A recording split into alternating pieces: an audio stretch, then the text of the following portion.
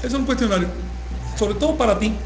Me gustaría eh, preguntarles qué tú opinas de este calendario.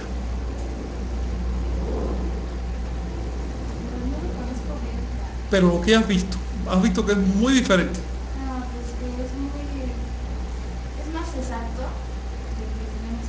Eso dicen estas clases, pero Oh, bueno, es que yo siento que sí es más exacto y además que el tiempo es diferente porque primero tiene una percepción del tiempo, del tiempo mucho más grande que nosotros.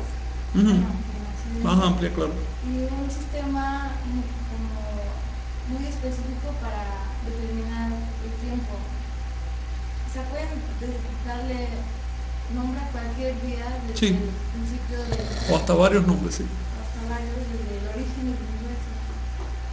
Sí. De hecho, el día del Big Bang está perfectamente recogido ahí y ya está ya al final de los ciclos, ¿verdad? Digamos que si todo este calendario fuera un día de 24 horas, el Big Bang habría ocurrido en su último segundo. ¿Has calculado eso? Y además, como solo con 20 tonales pueden dar tantos números, eso es Eso es impresionante. impresionante. Eh, fíjate que en realidad tú te has ido dando cuenta de que esto no es propiamente un calendario. Se usa la palabra calendario porque tiene la función de contar el tiempo. Pero tiene otras funciones que ya no caben adentro de un calendario. Eh, y sobre eso quería platicarles. Hmm. Quisiera hacerles una historia. Fíjate, cuando empezó, Anagua empezó cuando se inventó el maíz. Podemos decir que Anagua es hija del maíz. Este, ¿Por qué? Bueno, eso lo podemos entender a través de los mitos de la fundación de Anagua. Los mitos fundadores, eh, ya te lo te han hablado de eso en la escuela. Un mito fundador es un mito que tiene el propósito de dar, ¿qué? No es un mito cualquiera. Todos dan una explicación de algo, desde cómo aparecieron los pájaros hasta cómo surgió una montaña. Eh, pero hay un tipo de mitos que se llaman mitos fundadores y tienen el propósito de transmitir algo. De alguna manera todos los mitos tratan de explicar eso, pero los mitos fundadores además tratan de transmitir algo, que no es una explicación, sino más bien un sentimiento. Los mitos fundadores son los que tratan de comunicar un sentido de identidad. ¿Ves? Es decir, tratan de definir ya no lo genérico, sino lo específico. Como el de la Virgen de Guadalupe. No. Ese mito, bueno, tiene algo de fundador, por supuesto, porque estuvo delante de, toda una nueva eh, civilización. Pero me estoy refiriendo a mitos como la llegada de Aztlán, el diluvio de la Biblia, este, las razas que se, de los mitos eh, hindúes, etcétera. Todos estos mitos tienen como propósito fijarnos, ubicarnos. Es decir, usted está al final de tal ciclo, tiene tal intersección y vive en este punto. ¿Ves?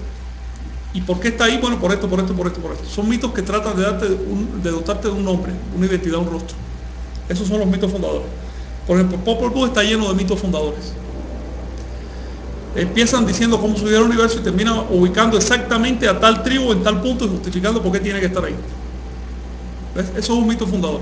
Por supuesto que puede haber mitos de muchas otras cosas que nutren los mitos fundadores. En Anagua los mitos fundadores básicos son los de Chicomosto o la salida de las siete cavernas, porque eso significa una separación y un nuevo comienzo. La llegada a Anagua, propiamente a Culhuacán, el abandono de Aztlán, el hecho de pasar sobre el mar ya te dice que es un mito fundador, porque es, es lo mismo que el rito del bautismo cristiano. Entras al agua y sales, ¿qué significa que naciste de nuevo? Es una fundación, una refundación. El mito de la fundación de Tenochtitlan, por supuesto, es un mito fundador para los tenochcas y así. Este, eh, el mito de la creación del ser humano de maíz es el mito fundador por excelencia. Antes del maíz, eh, los anahuacas y el resto de la humanidad eh, eran nómadas.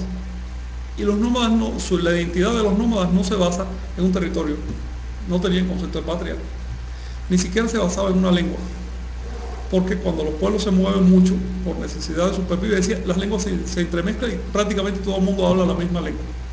Las especificidades lingüísticas comienzan cuando los pueblos se hacen sedentarios. Así que cuando eh, todavía no se cultivaba ninguna planta. Probablemente en la tierra hubiera unas poquitas lenguas, si es que se le puede llamar tales. Y es posible que hubiera podido viajar desde África hasta Patagonia, entendiéndote con los compañeros. Pero en el momento en que eh, los pueblos empezaron a asentar, y eso fue debido al cultivo de plantas, ya sabes que el cultivo requiere que la gente se quede en un lugar para defender el terreno. Eh, em, empezó, la identidad empezó a transferirse a elementos como la tierra, la familia, eh, la lengua que se habla. Era cuando, cuando hay grupos que se mueven, la familia se diluye mucho. Y en vez de haber una pequeña unidad familiar, se convierte en una horda. Y de hecho la horda es un límite bastante impreciso no hay, digamos, reglas sexuales tan definidas como hoy. Hay una gran libertad sexual y eso define la familia. Los niños no se crean con papá y mamá, se crean en el seno de un grupo grande que está caminando. Y eso genera otra relación. Ya la relación no es hacia los padres, sino hacia el grupo. Y el grupo tiene una especie de apellido que actualmente se llama tótem por una palabra de cierto lugar, que generalmente es un animal, un accidente, algo así. Es un apellido, un tótem. Y eso es lo que le da identidad a ese grupo.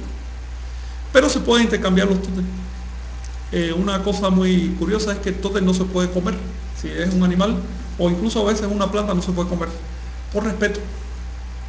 Y fíjate que en cuanto se empezó a cultivar y cambió todo eso, se quedó el tótem de manera relicta en la memoria de los grupos. ¿Sabías eso? Se convirtió en los apellidos que hoy tenemos como águila, oso, etc.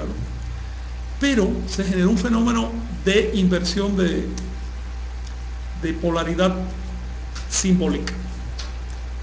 ¿Eso también te lo dieron en la escuela? Sí. Y un ejemplo claro de eso pues, es lo siguiente. ¿Sabes por qué los judíos y los árabes no comen cerdo? ¿O por qué los hindúes no comen vaca? Porque esos eran sus tótems. ¿Ves? En el caso de los hindúes todavía ellos eh, sacralizan a la vaca, pero en el caso de los judíos lo convirtieron en ejemplo para explicarse por qué no se puede comer. Se perdió de vista que se trataba de un tótem y por lo tanto de un, antepasado, y empezaron a decir que es un ser inmundo. Fíjense cómo se va deformando una idea sin perder por eso su origen. Pierde la esencia, ¿eh? pero se puede rastrear su origen. Pero qué tonto llamarte cerdo y no cerdo. Eh, es el simbolismo de la época. Actualmente hacemos cosas muy similares. en Occidente no comemos perros, mira qué tonto.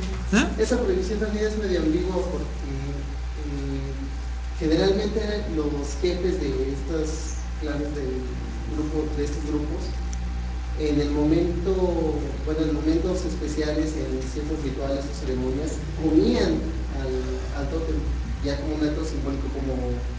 Y se siguió comiendo, de hecho, incluso a veces en forma de persona, de manera literal o simbólica. Entre los cristianos todavía es, es simbólico, aunque ellos dicen que es literal, y se llama milagro la transustanciación se lo comen, dice, la iglesia dice que es literal, que no es un símbolo. De hecho, es un principio cristiano creer en la literalidad, aunque tus ojos vean otra cosa. Este, pues bien, todas estas relaciones que también fueron sofisticadas a su manera, se perdieron cuando se empezó a cultivar. Las plantas generaron, los cereales, la verdad, generaron un, un excedente de alimentos y la posibilidad de guardarlo de un año para otro y eso generó a su vez clases sociales. Y las clases sociales organizaron en nuestra sociedad hay quizás 5, 6, 7 niveles superestructurales. ¿Te han hablado de eso? Que son algo así como clases sociales, pero ni tanto, sino son refinamientos productivos. Puedes tener un producto en tu mano que ha requerido un montón de niveles y cada uno de ellos más refinado que, que el anterior. ¿Cómo Sí, digamos, tienes una computadora. Bueno, el último paso de esa computadora requirió de una serie de refinamientos que si falla uno, falla todo el proceso. En cambio, el primer paso fue eh, producir papas, arroz y, frijoles. Y eso, si no lo haces aquí, lo haces allá. Y si no, hoy lo haces mañana. ¿Ves? Así que mientras más cerca de la base de, la producción estás, más genérico, más eh, simple es todo. Eh, menos específico, más amplio. Y a medida que se va refinando la sociedad, se generan superestructuras productivas que reflejan además superestructura simbólica y superestructura ideológica y todo lo que tú quieras. Y por supuesto, generalmente se generan clases sociales. Nosotros, como otras culturas también, por ejemplo, los antiguos mayas A los obreros le llamaban los hermanos. Tú lo veías cagando una piedra, pero se llamaba el hermano. No le decían esclavo, decían hermano. Y entre nosotros hoy una persona puede trabajar 16 horas con tal de que le paguen un salario en miseria, pero se le llama obrero. y decimos que los antiguos tenían esclavos, pero nosotros tenemos obreros, porque ya nos dignificamos. A pesar de que un esclavo tenía mucho más este, prestaciones sociales que un obrero. ¿eh?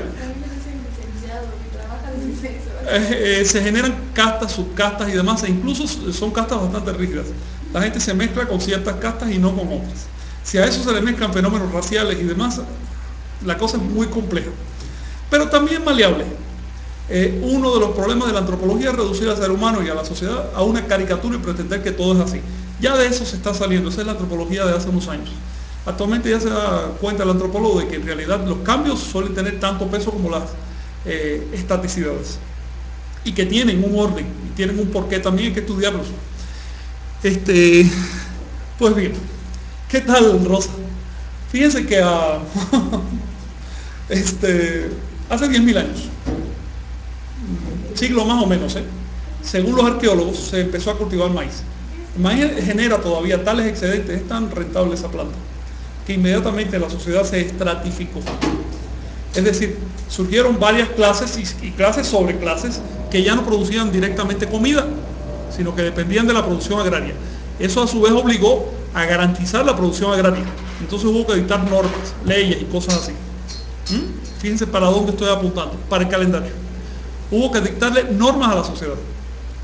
Este, empezó a acumularse energía porque finalmente el maíz es energía solar en forma de grano que se acumula en graneros y después de unos 5.000 años de esa, de esa acumulación, de pronto surgió una chispa. Yo pienso que el detonante de la gesta olmeca, porque la olmeca no es eh, otra cosa que una gesta civilizadora. No se trata únicamente de un pueblo, es un pueblo en crecimiento eh, y quizás ni siquiera pueblo, sino quizás un conjunto de pueblos, es casi como una moda, pero una moda de mucho impacto que creció rápidamente, en unos pocos siglos había cubierto, quién sabe si toda el agua y más allá. El caso es que pienso que el detonante de esa gesta fue la cristalización de un concepto religioso, el concepto de la unidad divina. ¿Ok? El concepto de la unidad divina. Que eso lo, lo estudiaremos un poco más en teología. No hay que reducirlo al concepto equivalente de los cristianos. Hola, ponte. Sí. Eh, ¿De dónde deduzco esto? Del hecho de que las instituciones olmecas lo ves en la plástica, lo ves en la forma de organizar el territorio, en las relaciones productivas y demás. Las instituciones olmecas estaban orientadas a sintetizar lo que había.